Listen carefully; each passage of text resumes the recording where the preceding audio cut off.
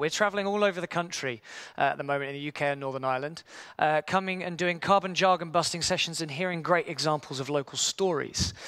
Um, so that's what I'm here to talk to you about. Um, because there's a lot of different terms net zero, carbon neutral, carbon negative, climate positive. It gets very confusing about what we should be doing as individuals and as organizations. Um, very briefly, uh, I'm not going to go too much on this, but so uh, I'm from the Planet Mark. and we're a sustainability certification, not an events company, even though it feels like it a bit at the moment because we're doing uh, a tour over 14 weeks, uh, all the way up to COP26 and beyond. And this is what it's all about, the Zero Carbon Tour. You may have seen the lovely hydrogen TransLink bus on the way in. Uh, we'll go out and take a photo with it all together later. Uh, but we're traveling across the country and we've got three goals. We're here to raise awareness about COP26. And if you haven't heard of COP26, go and look it up. But if you've heard of the Paris Climate Agreement, that was COP21 and we're here to talk about the Race to Zero campaign and Together for Our Planet. We're also here to gather carbon stories, and uh, my lovely colleague Amanda, somewhere around, oh, here she is. If you have a carbon story to tell, if you've done something, your organization or community group has done something to reduce carbon emissions, we want to hear about it because we're gathering tangible examples of action that we can use to inspire others to follow suit. And then thirdly, we're here to help organizations and communities set credible net zero targets. I'm going to talk a bit about what that means. And this is the tour. we're going all over the place. Uh, we're on week five uh, of 12 in this leg, um, and we're traveling right across the UK and Northern Ireland to take this message out to people. Show of hands, who feels confident about what the scopes of carbon emissions are? Oh, very few. Okay, so very simply, what you need to know is when we talk about carbon, we really mean all the greenhouse gases. It stands for carbon dioxide equivalent. You'll see it written as CO2e. And it does include methane and nitrous oxides and all of these things into one single metric because humans don't deal all too well with complexity. So we like to have a nice one focused thing that we can do. And the way that's done is it's based on how intense uh, the heating effect of a gas is. So, methane, for example, has a much greater heating effect than carbon dioxide, but it doesn't last as long in the atmosphere. And so scientists use that, uh, those, those sort of figures to calculate this much methane equals this much carbon dioxide, and we calculate CO2e. And so there are three scopes of emission, and you don't need to know the whole detail, particularly of scope three, unless you're measuring scope three. But it's useful for everyone to understand the broad differences between the three. Scope one is the fuel you burn. It's the fuel you burn. So it's your car, it's your oil or gas heater, because you're directly burning the fuel that's generating that emission. Scope two is the energy that you use, because you're not the one burning the fuel necessarily. That uh, might be a coal fired plant or a gas fired plant, or ideally renewable energy. Um, but that's energy you consume, and uh, you know, the fuel's being burned elsewhere, but you're still consuming the energy. And scopes one and two are seen as the things that we have most control over. Scope three is everything else. it's your business, it's your traveling, it's your supply chain, it's the products you purchase, it's everything like that fits into scope three. It's very big, 15 different sort of areas of scope three. And the important thing to note here is simply that if on an individual level, if I was just measuring my scopes one and two, I'd be measuring my utility bills and my car if I owned one. I'd be missing out the food I eat, the products I purchase, the places I travel, through other means. A huge amount would be missing. And so it's important to understand these things because the first question you need to ask yourself when you see a carbon footprint or when you see uh, a, a commitment being made by a country or an organization or a community, what was measured? what was measured, what is being measured, is a really, really critical question. And that then builds what looks like a carbon footprint. So this is one of our members. And you look at, we know, got the reporting year, we know the boundary, we know what emissions were measured from this, and you know the highlights and things that are coming from it. So you look for that information in your own company's website, in other organizations' websites, and in communities and in national targets. Very briefly, I'm going to touch on carbon offsets, but it's really important to note carbon offsets are not the solution to this problem. They are parts of it, but the emphasis has to be upon reduction. There are two types of carbon offsets broadly. There is carbon avoidance, that is things like solar farms, wind farms, because a solar farm, if I put a solar panel out, it doesn't draw down any carbon emissions. It's not removing any carbon from the atmosphere. It just avoids more going in because it's replacing a much more carbon intensive source like coal or gas or something like that. The second type is carbon removal, and that is things that actively draw carbon dioxide out of the atmosphere. So think trees, peatland, uh, seagrass. Um, yes, there are some limited technologies on this as well, but they are very limited, and by far the best bang for your buck is always going to be, I think, nature. Um, it's been doing this for a very long time, and it's quite good at it.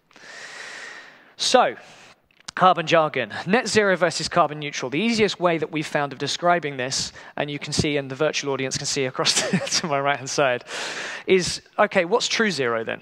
And true zero would be going from 100% to 0%. You measure your carbon footprint, 100% down to 0%.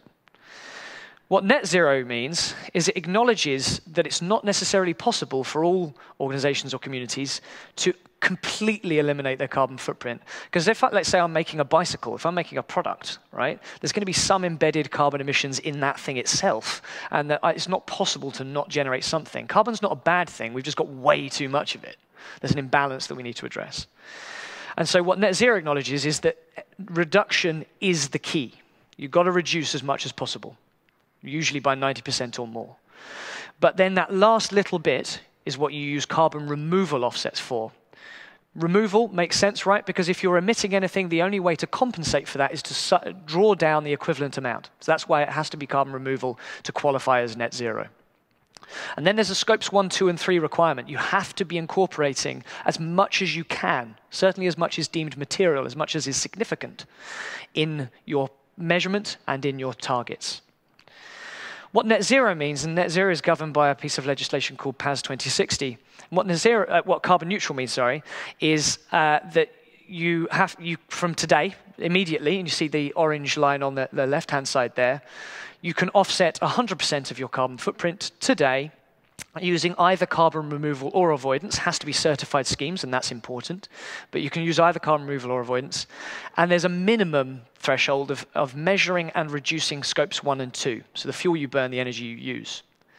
But there's a risk here that if you're only measuring your utility bills and your, your cars that you own you're missing a lot.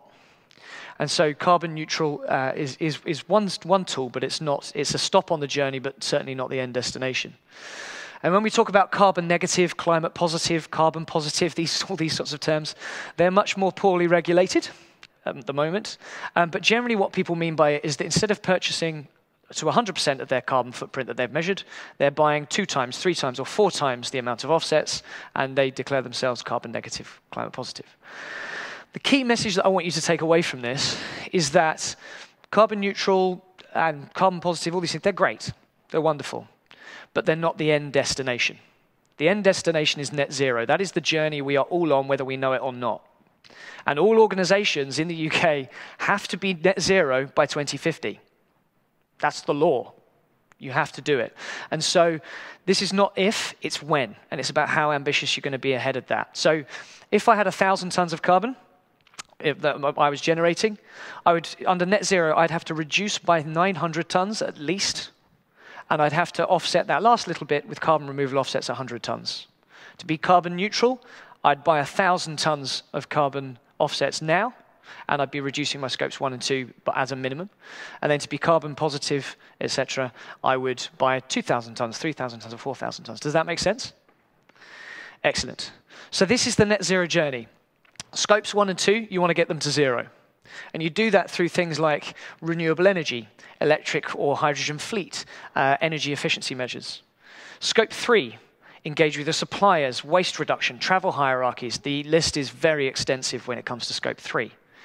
And then your residual or unavoidable emissions, and you have to justify why they're unavoidable. That is what you then use natural solutions and, and carbon removal technologies to address. And so, our call to action for organizations, all the leaders here today, is plot your path, plot your journey on that chart. When are you aiming to be net zero?